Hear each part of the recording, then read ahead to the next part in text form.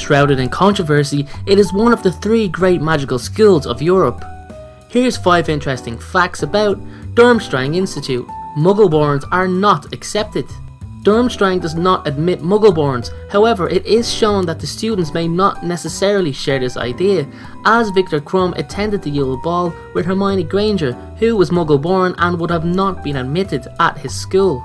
Durmstrang was the school where Gellert Grindelwald was educated.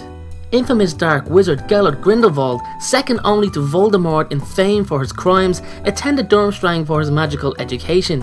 However, his twisted and unnatural dark experiments led him to being expelled from the school.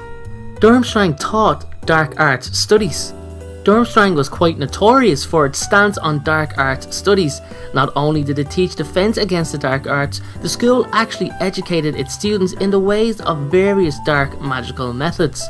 Whether the unforgivable curses were included in this remains unknown. They favoured Slytherin House while at Hogwarts.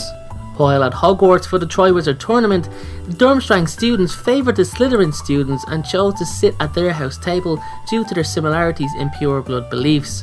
However, there are many who put this decision down to Durmstrang headmaster Igor Karkaroff. The Deathly Hallows symbol is greatly frowned upon.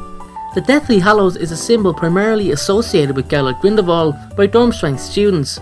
Such was his horrific crimes, many students in Durmstrang were relatives of family members murdered by Grindelwald and are known to act out on any student that has the Hallows symbol scribbled on books or their parchment. What video would you like to see next? 5 interesting facts about Helena Ravenclaw or 5 interesting facts about Igor Karkaroff.